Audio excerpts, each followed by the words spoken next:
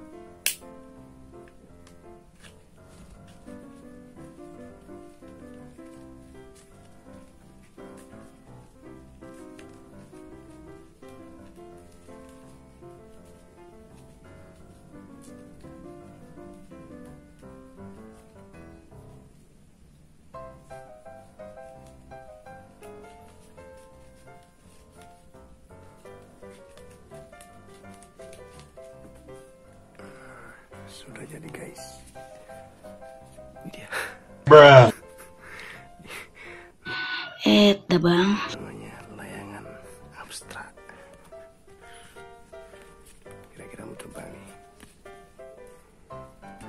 Gak perlu pakai kayu lagi ya